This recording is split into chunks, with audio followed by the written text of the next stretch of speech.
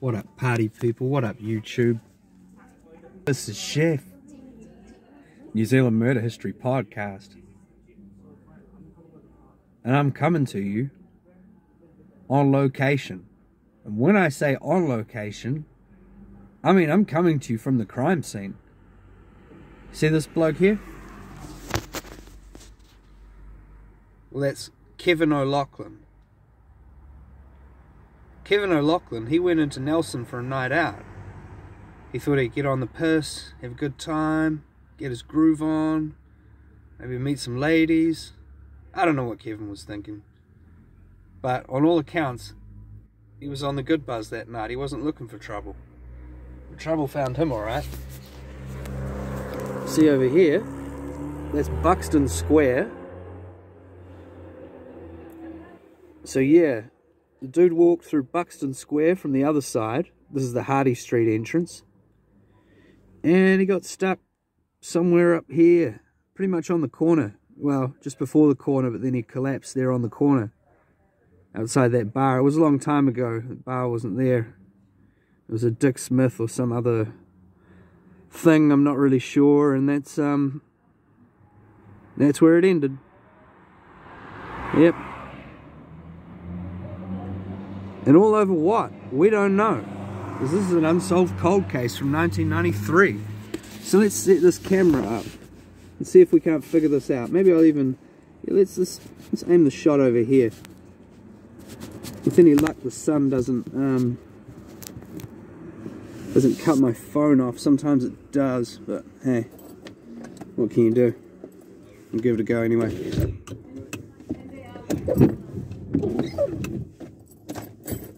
Alright. This is Chef, New Zealand Murder History Podcast. My show is not suitable for children. Kids, click off. Anyone suffering from PTSD, also click off and seek support from your GP or call one of the many 0800 numbers available. My show is just for educational purposes and to let the public know. Oh, let New Zealand public and anyone else who cares to watch know that this case is still unsolved and it's likely people out there know what happened. So anyone who knows something, saw something, or even just had a beer with Kevin O'Loughlin at Horatio's club on May the 1st, 1993, go and tell police. Any leads could be relevant. The number for the New Zealand Police non-emergency is 105 or you can call Crime Stoppers on 0800 555. Okay, so this bloke, Kevin O'Loughlin, 30 years old, he's getting drunk at Horatio's club on the 1st of May 1993, and it didn't go well for him. Well, obviously, that's why he's on my show. But what happened to Kevin O'Loughlin? Well, it was a Saturday night, early Sunday morning. He got stabbed six times by person or persons unknown in the Montgomery Square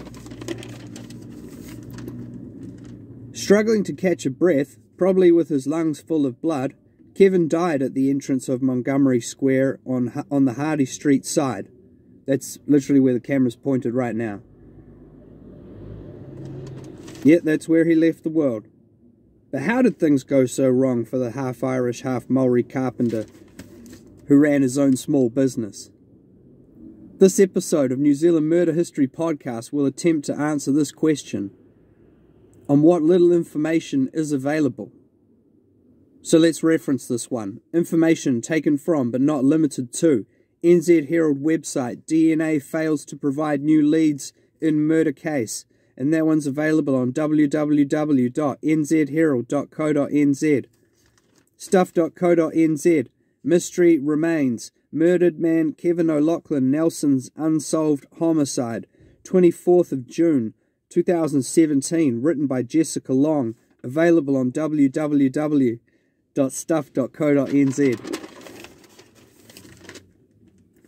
Also, watch New Zealand Mysteries by TJ, The Unsolved Murders of Kevin O'Loughlin and Jordan Vodarius, Vodorius, available on youtube.com, uploaded on the 9th of June 2020. Stuff.co.nz article Unsolved murder in car park still baffles after 29 years. written by Vanessa Phillips, 30th of April 2022, available on www.stuff.co.nz. NZ Herald article, homicide hotline ringing red hot after DNA found, written June the 2nd, 2005, available on www.nzherald.co.nz. So let's have a brief rundown on what we know. Now, despite different sources saying different things, it seems Kevin died just about where he was stabbed. Kevin had broken up with his lady, the mother of his daughter, and gone out for a night on the town, visiting a few hotel bars and clubs with a friend, Bill Marshall, later in the night. So, Saturday the 1st of May through to Sunday the 2nd.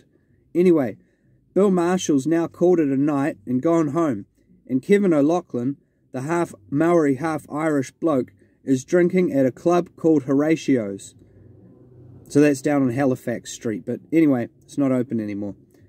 He's wearing grey corduroy pants, a black jacket with white trim on the cuffs and pockets, and grey cowboy boots. At 3 a.m., he leaves the club on Halifax, walks down less than one block on Trafalgar, takes a right on Wakatu Lane. I think the proper pronunciation is actually Whakatu Lane in Maori, but anyway, from there, Kevin O'Loughlin cuts through the bus depot.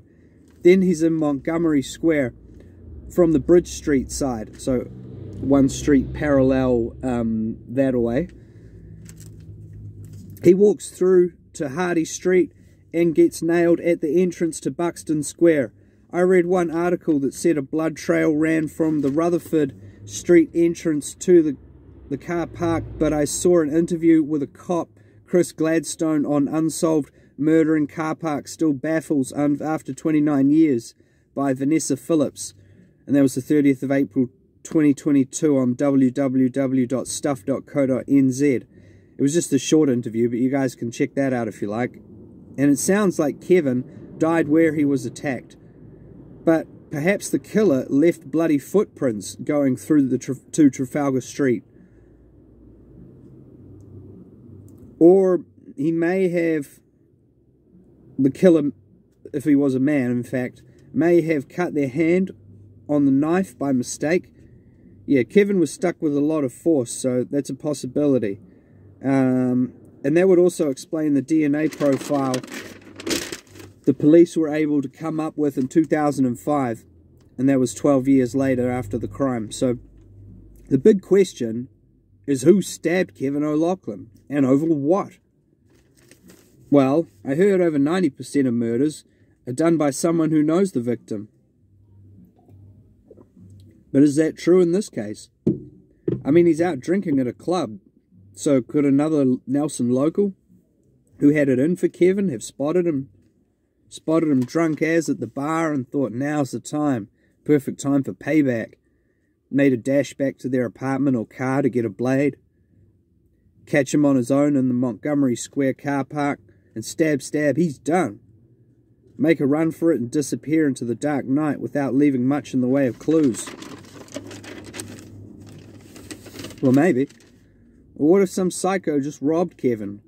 Someone saw the carpenter splashing cash on the bar, buying drinks for people, and thought, yeah, I'ma follow this fool at closing time, catch him slipping in the car park, and boom, I'ma line my pockets. But then when it comes to crunch time, boom, boom, psycho guy stabs up the unlucky half Irish, half Maori bloke. Just to get some sick kicks, you know. Well, it's been done before. And Sunny Nelson isn't always the safe and sound, happy family place it's cracked up to be. Just depends, really. I used to work at New World, not Vanguard Street, the New World up in Stoke. And I remember this bloke, Carlton, I used to work with. Yeah, he was this big kind of dorky looking fella. He's funny, man. He was a cool dude. Anyway, me and him got on good. Okay, now I'm getting well off topic, but check this out anyway. It's pretty funny. So one night after work, and it couldn't have been that late because the supermarket shut at like 9.30 or something. Anyway, Carlton was helping this um, helping this lady find her car keys in the car park. And some bloke he didn't even know came up and smashed him upside the head for no reason, knocked three of Carlton's front teeth out with one punch. So, yeah, violent assaults do go down in Nelson for no reason. So, what's funny about that, you say? Well, nothing at all, but check this out. So, this is pretty bad. But uh, anyway, I wanted to cheer Carlton up, right?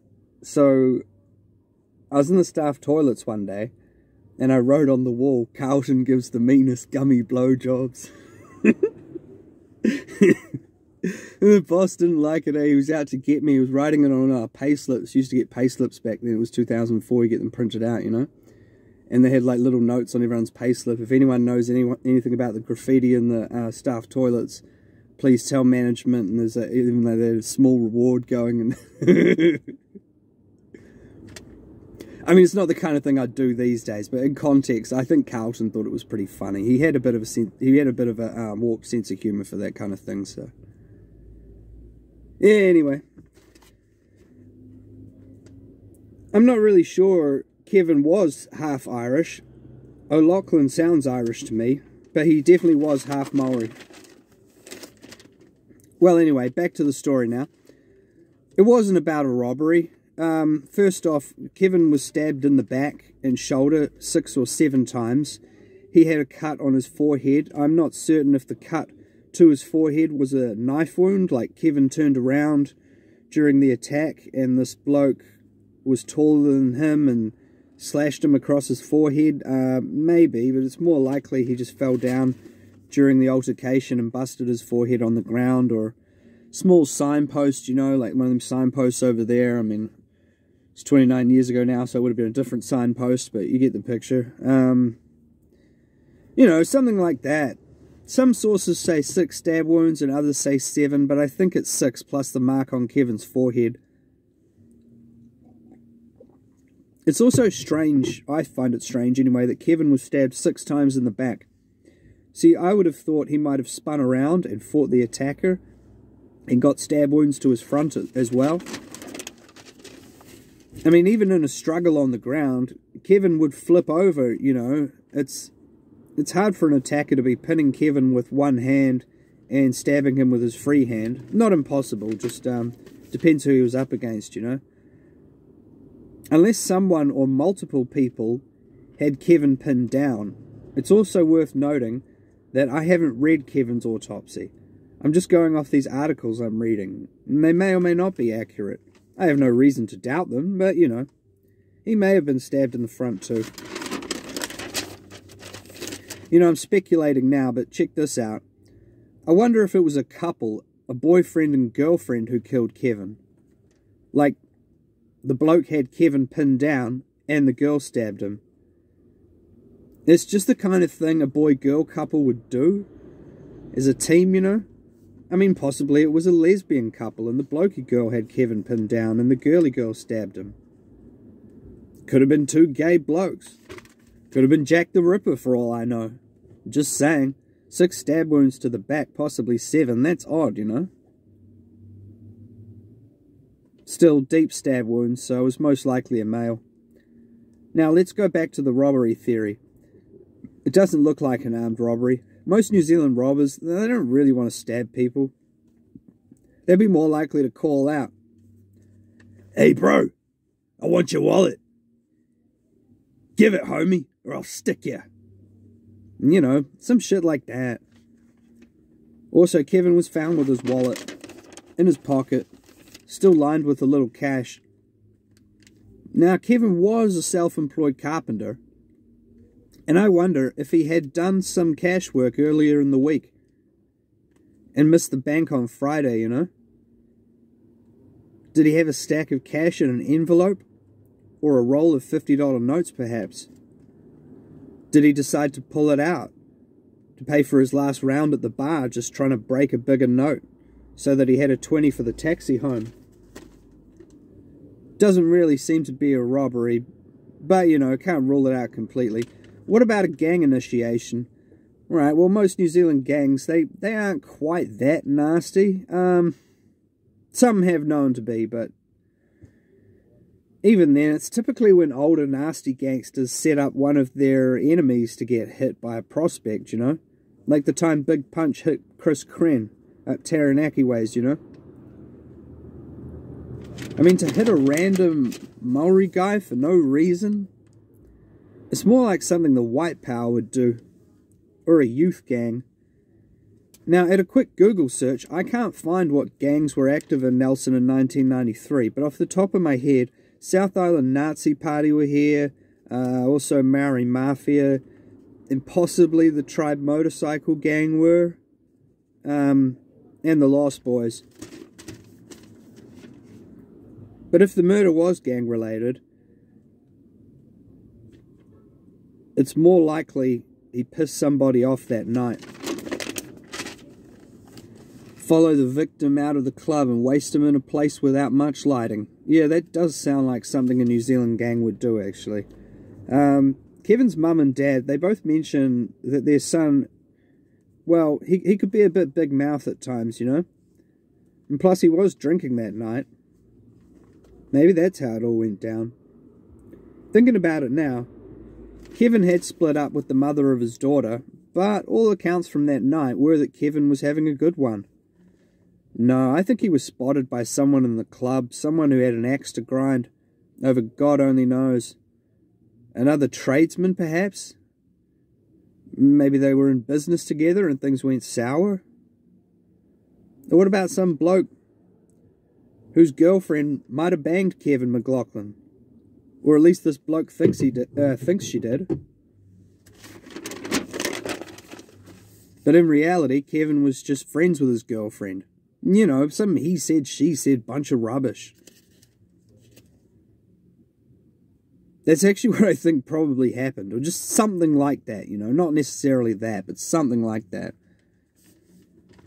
Um, yeah, I say so because I believe Kevin was followed. Even if you look here at the crime scene, it's like if his attacker was following him through the Buxton car park, which he was, or she was possibly, it's like he's getting closer and closer to where there's like heaps of light and more people, and this person's tossing it up in their head like, hey, am I going to do something crazy? Am I really going to stab up Kevin McLaughlin? Now's my last chance. Oh, I better do it, you know? And then they do it right there. It's like they were following him. I, I just get the feeling he was followed anyway, put it that way. Anyway, I put 75% chance on that. 25% chance this was a gang thing. Maybe there was a high ranking gang member that was at Horatio's club that night and Kevin somehow crossed him. He told his boys to handle business and that was that. If it was random stabbing, then it was either South Island Nazi Party or a youth gang, American Street Gang Blue or American Street Gang Red. I only throw 5% that this was just a lone wolf attacked by some serial psycho, you know? because then you might expect to see other crimes with the same MO. Well, that's it. That's my show. Like and subscribe. Will this crime ever be solved? Maybe.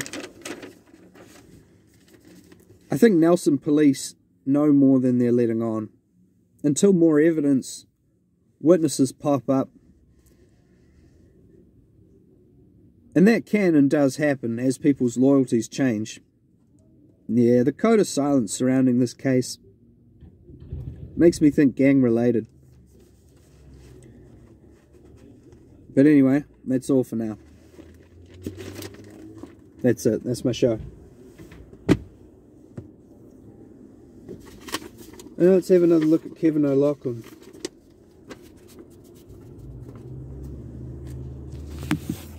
Awful shame, you know? Check it out.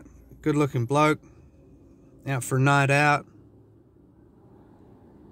He had a bit of style too. Grey corduroy pants and grey cowboy boots. Kevin was cool.